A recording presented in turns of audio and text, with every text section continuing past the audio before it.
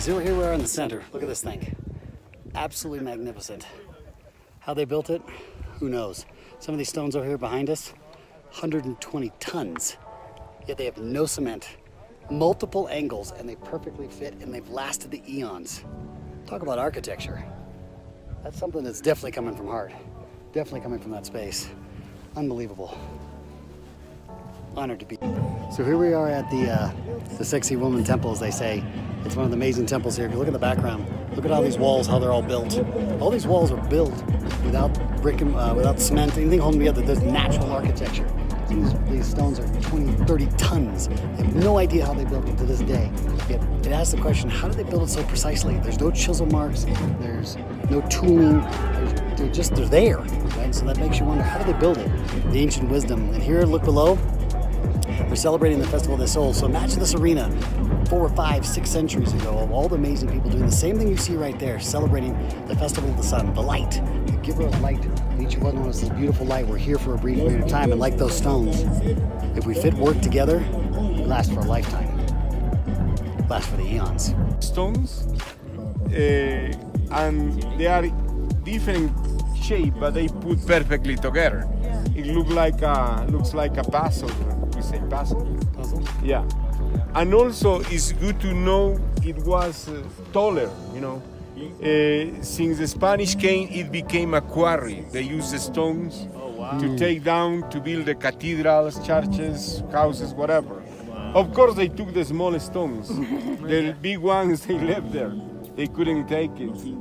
But you know that's what happened. See when the spanish came first time they they, they describe the place as a really an amazing place yeah and, decimated right yeah.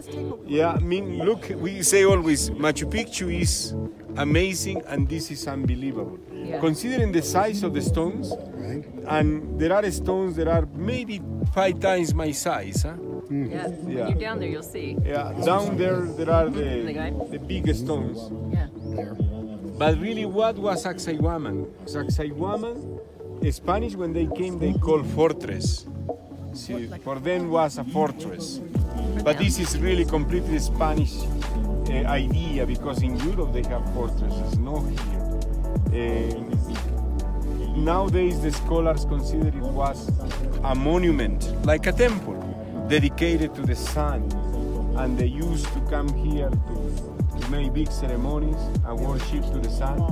And also you can see the uh, zigzag shape, eh? zigzag shape, and that is realized is also in the shape of the lining. You know, the lining was another deity. You, I'm blown away.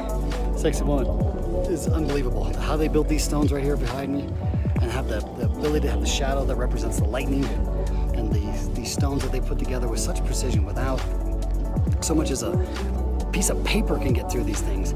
Yet there's not one thing that binds them together except for how they perfectly fit.